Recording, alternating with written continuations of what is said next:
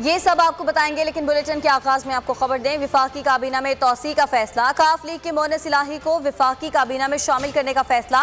मोन सिलाही को वजारत आबी वसाइल का कलमदान की मंजूरी मिल गई। M Q M B A P को भी वजारतें दी जाएँगी।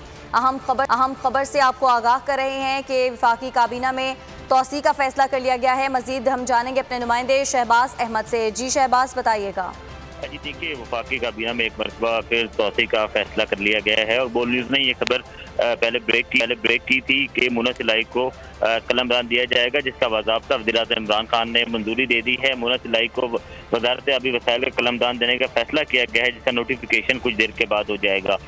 मुना सिलाही जो कि मुस्लिम लीग काप के हुकूमत से काफ़ी तहफात थे, लेकिन कुछ मुलाकातें वजी अजम से हुई थी, जिसमें उन्होंने बजट में हुकूमत का साथ दिया तो उसके बाद जो चौधरी फिरोज लागी सरबराही में वक्त की मुलाकात हुई थी, उसमें वजारत देने का उसूली फैसला हो गया था और बाबा तौर पर वजी अजम ने इसकी मंजूरी दे दी है। और मजीद वजारतें जो हैं वो दी जाएँगी। एक एम के फैसल सब्जवारी जबकि बलोचन अवामी पार्टी के अनवर काकड़ भी वजारतों के उम्मीदवार हैं। जबकि जरा ये भी बता रहे हैं कि इस अलावा हुकूमत में नए फाकी उजरा भी शामिल करने का फैसला किया गया है और जुल्फी बुखारी जो रिंग रोड तनाजे के बाद जिन्होंने इस्तीफा दिए थे उनको भी दोबारा काबीना में शामिल किए जाने के इम्कान है जहाँ इसका फैसला आइंदा चंद रोज में होगा, लेकिन आज की बड़ी खबर यह है कि एक बड़ी वजारत आबी वसायल की इतिहादी को दे दी गई है मुस्लिम लीग काफ के मुन्ना सलाही वफाकी काबीना के अंदर शामिल होंगे और जल्द उनका नोटिफिकेशन जारी हो जाएगा। इसके बाद से दो रोज में अपने का हलफ उठाएँगे। शहबाज अहमद बहुत शुक्रिया आपका।